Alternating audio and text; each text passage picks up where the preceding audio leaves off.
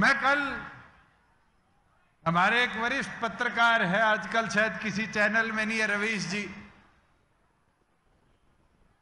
उनने विवरण दिया इस घटनाक्रम का। मुझे बड़ी पीड़ा हुई कि लोग क्या सोच रखते हैं। रवीश जी को मैं ज़रूर बोलना चाहूँगा। चौधरी देवीलाल जी के सीवन जीवन से, उनके असूलों से जननायक जनता पार्टी की विचारधारा को हमने आगे ले जाने का काम किया। और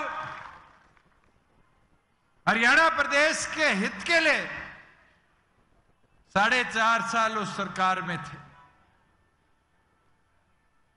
और इनने आखिरी दिन तक चर्चाएँ रखी विश्वास रखा। आपको वो दिन भी याद होगा, पाँच साल में एनडीए की एक बैठक हुई, डॉक्टर अजय सिंह चौटाला जी गए। मैं गया। और अंत में, बिना चर्चा को विराम दिए, क्या फैसला किया? साथियों, एक चीज़ मैं बोल सकता हूँ। कोई कहता हो कि जेजेपी सरकार में दोबारा इसलिए नहीं गई कि उसका फ़ायदा बीजेपी को मिलेगा? फ़ायदा, नुकसान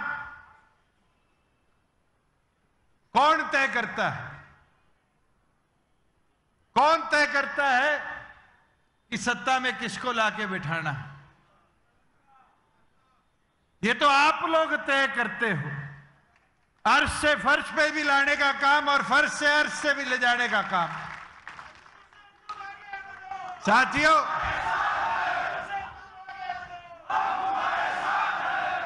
हमने तो क्या बोला था कि हम दो सीटों पर चुनाव लड़ने के लिए तैयारी कर रहे हैं।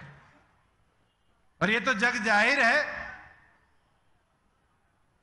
भिवाड़ी महेंद्रगढ़ की लोकसभा हो, हिसार लोकसभा हो, प्राथमिकता के तौर पर जननायक जनता पार्टी ने तैयारी करी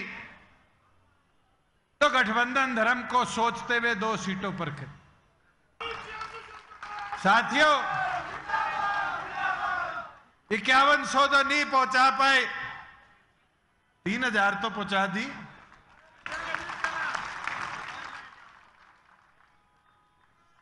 चौदह फ़सलें